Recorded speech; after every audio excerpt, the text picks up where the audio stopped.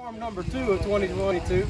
So uh, this is actually at my boss's house. We got a crawfish boil going on, so I'm gonna get them in the box and make some crawfish. Come a little closer, Mom.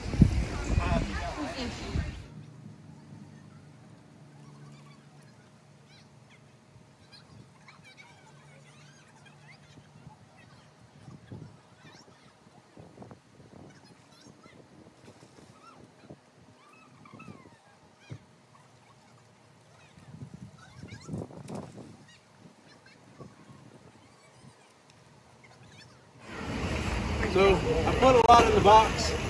But what I'm gonna do, I've stirred them up a whole lot. I'm gonna wait and see where they settle.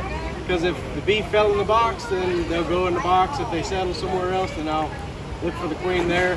But there were so many of them, I had to get them moving, get them up in the air to try to maybe find the queen. All right, so this box is turning out to be way too small. This is a five frame nuc box. So I'm putting them in, uh, gonna try to put them in a 10 frame. And these are all deeps, of course.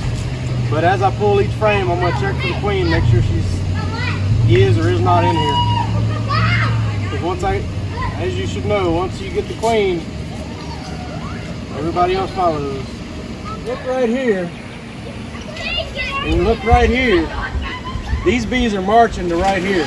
So the queen is somewhere in this area because they're all trying to get to that spot. So there was a big cluster right here. I just knocked them onto the front of this bottom board. So I'm hoping the queen got pushed into there, but they're marching all the way. I can see them, they're marching. All right, so if you look, these are all marching down. If you look real closely,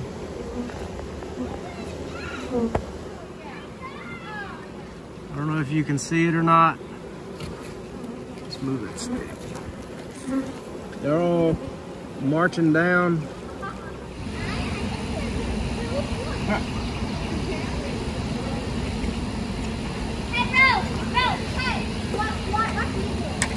I'm gonna leave them open for a while. Let them calm down, figure out what they want to do, and